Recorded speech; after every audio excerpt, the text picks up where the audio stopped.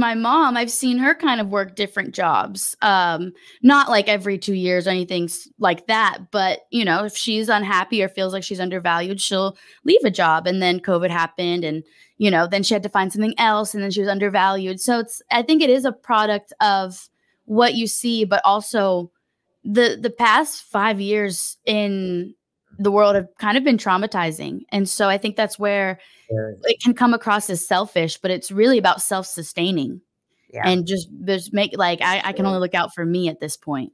Mm-hmm. Yeah. Yeah. The, the, trauma that people experienced with, uh, with COVID, um, it, I, being in the medical field, being a physician, I've been able to get into people's heads about it and, you mm-hmm. know, and so I get to hear a lot of things that, you know, you guys probably don't uh, about the the fears of, of, people and what they've experienced. Uh, things have changed. People have changed.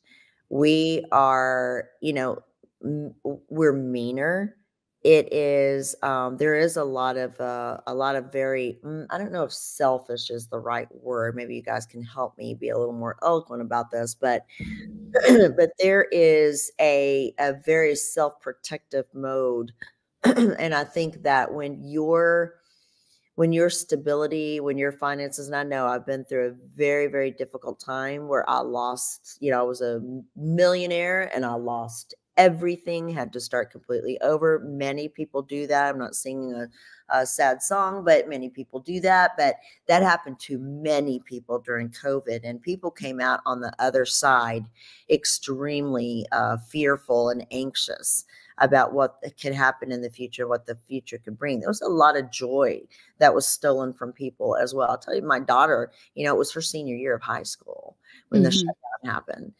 And so she's like, I didn't get prom. I didn't get to walk the stage. I didn't get to do all these life things. You know, my, my friends, uh, I uh, didn't get to see my friends for a year. And, you know, a lot of, uh, uh, a lot of children uh, were held out of school at a very, very important developmental time uh, mm-hmm. while their parents were losing jobs and things. And so there's a lot of distrust. There's a lot of uh, emotional instability. So that that is going to shape a generation, and we're going to see, you know, we're going to see the fallout from that, and and uh, see how people's spirit comes out uh, and ability to cope uh, with problems uh, from the future on here based on that. It's going to be very very interesting.